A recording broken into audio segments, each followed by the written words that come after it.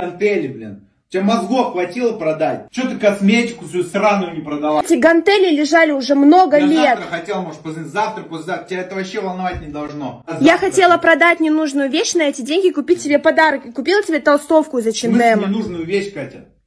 Ты даже ее не посмотрел. Я виновата, что мне такое задание попалось. покажи. Продай на Авито ненужные вещи и купи ему подарок. Чего слово ненужный, понимаешь? Гантели мне нахрена мои продала? Где они лежали, окей? Ты помнишь хотя бы, где они лежали? Там они где-то лежат. Там это где? Я толстовку эту заберу себе. Ага, тогда. сейчас. Гантели вернешь, забирай, что хочешь. Толстовку оставишь.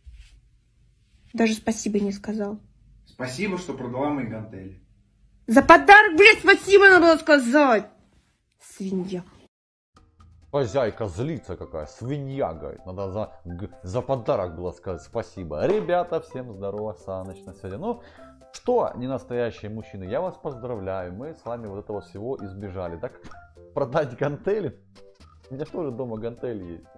Большие, по 40 килограмм, почти по 38, две штуки, да, вот представляете, вот чаечка продает твои, твое орудие труда, когда ты качаешься, кайфуешь, да, и покупайте толстовку.